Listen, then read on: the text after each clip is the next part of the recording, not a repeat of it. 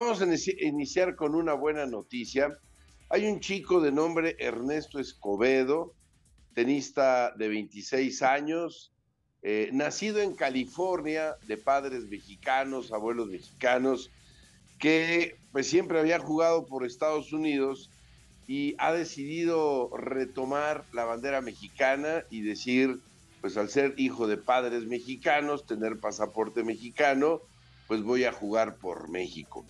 Y en su primer torneo con su nueva nacionalidad, la de sus antepasados, pues sencillamente da una buena noticia porque logra clasificarse al Australian Open al ganar a Pavel Kotiv en dos sets. Y este chico eh, de padres zacatecanos pues le da este gusto de tener a un singlista mexicano en el abierto de Australia.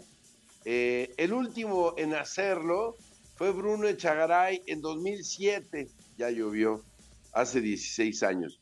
Escobedo es 310 del ranking de la ATP, es profesional desde 2014, en 2017 alcanzó la posición 67, así es que bueno, enhorabuena pues por este chico que ojalá pues nos dé muchas alegrías ahora que ha retomado la nacionalidad, insisto, de sus padres, que son de origen zacatecano. Y bueno, pues eh,